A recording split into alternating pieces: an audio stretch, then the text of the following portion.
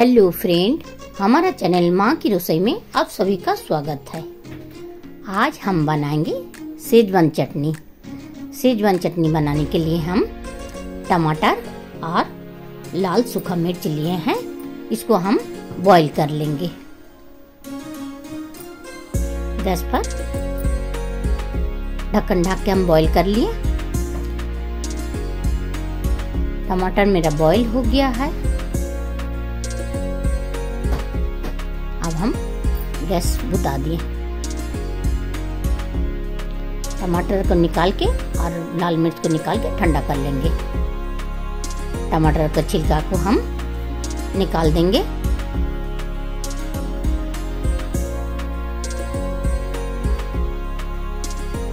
अब हम एक पॉट में टमाटर और लाल मिर्च को पीस लेंगे। उसका पानी हम फेंकेंगे नहीं पानी को भी हम डाल के इसमें मिला लेंगे। आप कढ़ाई में तेल डाले हैं, बारीक कटा हुआ प्याज, और लहसुन का पेस्ट डाल के हम हल्का ही भूंज लेंगे। भूंजने के बाद पिसा हुआ टमाटर और लाल मिर्च को हम डाल देंगे। डाल के अच्छा तरह हम मिलाएँगे। अब हम देंगे स्वाद अनुसार नमक,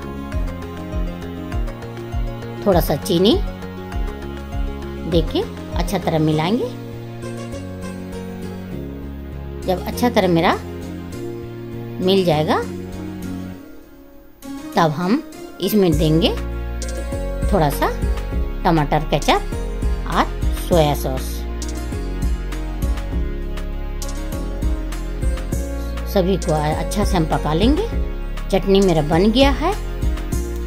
ये मोमो साथ बहुत ही अच्छा लगता है। ऐसे भी किसी की भी साथ आप ये चटनी खा सकते हैं। गरम गरम मोमो और चटनी खाइए।